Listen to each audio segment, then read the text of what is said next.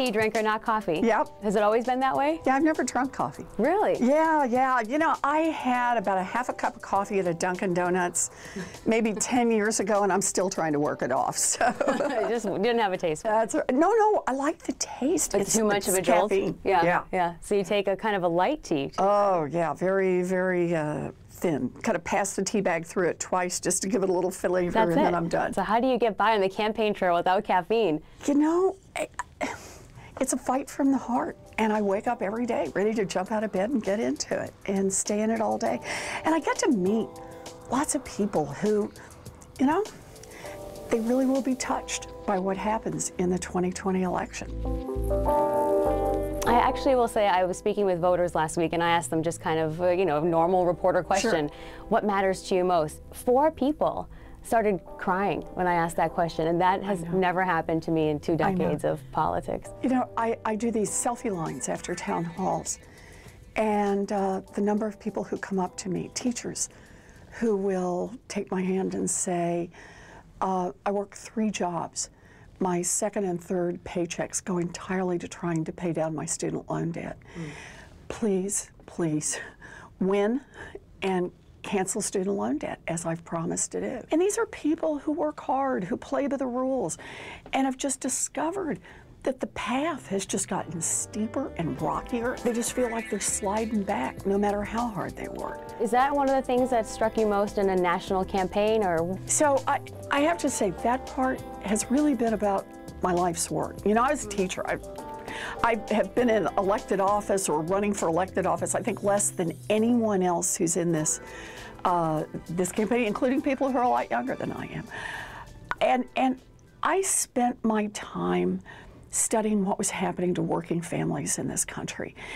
And it really is seeing about how America's middle class has been hollowed out, and that the fundamental reasons for this go back to this notion of whose side government is on.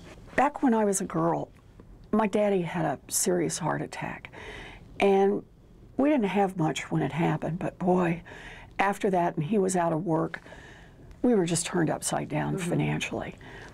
My mother, who'd been a stay at home mom, got a minimum wage job at Sears. And that minimum wage job paid the mortgage, it covered the utilities, it put groceries on was the enough. table. It was enough. Today, a minimum wage job in America won't keep a mama and a baby out of poverty. And the reason for that difference is back when I was a girl, the question that was asked in Washington is where do we set the minimum wage to make sure that a family of three can survive, get a foothold hmm. in America's middle class? It's who government works for. And that's what drew me into the political end of the fight to say, I want a government that works for families, not a government that's just out there working for big corporations. You're very open about a lot of your growing up and stories. I always like to ask if there's something you think voters don't know about you yet. Many of them may not know that when I got my first uh, teaching job in law school, I was young. I had two little kids.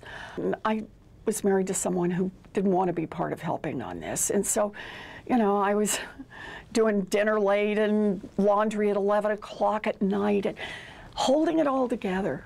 But the thing that nearly wrecked me was childcare.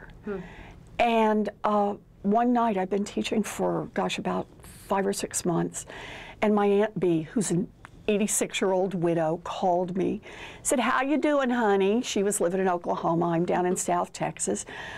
I said, fine, and then started to cry. And before I even knew what I was thinking about, I said, I'm going to quit. Hmm. Now, I love this job, but I couldn't do the childcare. We had just been through one thing after another. My Aunt B said, Well, I can't get there tomorrow, but I can come on Thursday. Hmm. And she arrived with seven suitcases and a Pekingese named Buddy, and she stayed for 16 years. Wow. And it's one of the reasons childcare is such a passion for me. If you could leave voters with a one sentence message about your campaign, what would it be? I'll fight as hard for your family as I fought for mine. Senator Elizabeth Warren, thank you It's so good to see you.